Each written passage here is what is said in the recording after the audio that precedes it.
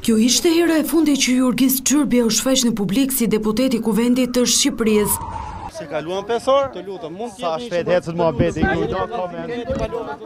Pas pesë orësh marrje në pyetje nga SPAK, të mërkurën e tetë tetorit, deputeti vendosi të lërë mandatin vetëm një ditë më pas. Ai tha për Report TV se nuk kishte probleme ligjore dhe se dorëheqjen nuk ia kishtin kërkuar por e kishte dhënë për të marrë kohë të kujdesej për shëndetin e tij. Çyrbja u pyet në SPAK të martën pas një padie të bërë nga demokrati Paloka, tre vjet më parë gjatë fushatës së zgjedhjeve parlamentare të dy mijë e njëzet e njëshit, opozita e akuzoi socialistin se shpërndau leje legalizimesh me qëllime elektorale.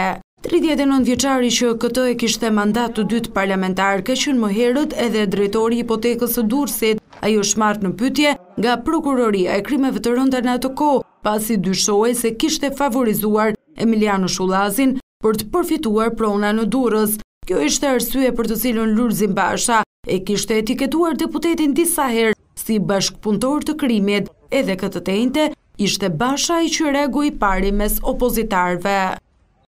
Edi Rama nuk mund të lajë duart vetëm duke e detyruar deputetë e ministra të largohen nga funksionet kur u tunden prangat, ai duhet të mbajë përgjegjësi, pse e ka zhytur vendin në korrupsion dhe ka veshur krimin me pushtet.